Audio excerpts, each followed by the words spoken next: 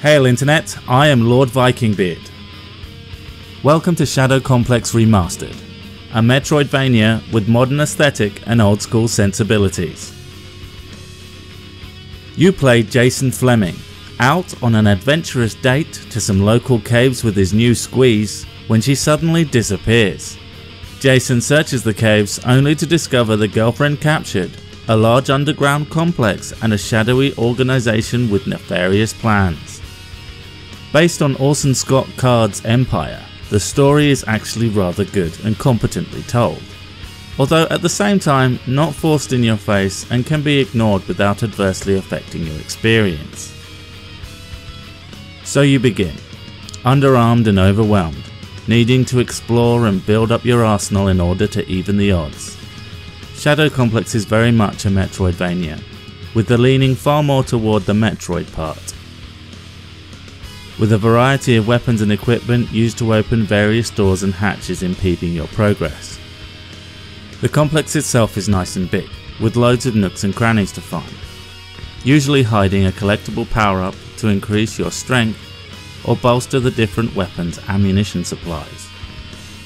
Speaking of weapons, there's a nice selection allowing for some pretty interesting tactics during combat.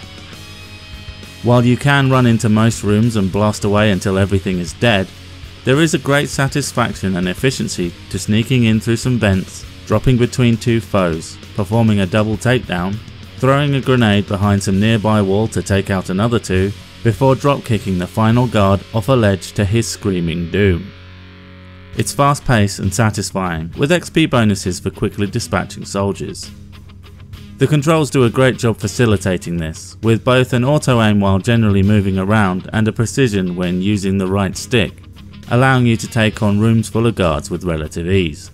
I say relative, when the game starts you are very vulnerable, little health and pretty impotent weapons, so things are tough, although fair, as you aren't thrown into any fights where you are massively outnumbered. However, after a certain point in the game, your equipment becomes so good and varied that fights start becoming ever easier, even with hordes of enemies thrown at you. Also, if you go for 100%, the final piece of armour turns the game from pretty easy to out and out trivial. I'm honestly not sure how I feel about it. While it's really fun to go from zero to literally superhero, it would perhaps have been nice to have a challenge thrown at you that made these powers feel necessary instead of just overkill. The visuals are nice and the 3D is used to great effect, having enemies on different planes to you, giving the fights a nice dynamic look and making them pretty spectacular for what is in essence a 2D platformer. However, it does bring one problem and it can be a pretty annoying one. Sometimes when trying to shoot at a background object or enemy, the targeting, which is semi-auto in these circumstances, can be a little bit finicky. While fine most of the time, this can frustrate during more intense fights. But this along with the aforementioned overpowered armour are a couple of specks of dirt on a glorious trophy of a game. Odin approved. You can grab Shadow Complex Remastered for, well, right now, totally free on PC. At least for a limited time, from the Epic Games launcher with prices to be confirmed when the promotion is over. Shadow Complex is extremely fun and an absolute must for Metroidvania fans. Not grabbing it while it's free would be a crime. Farewell, and thanks for watching.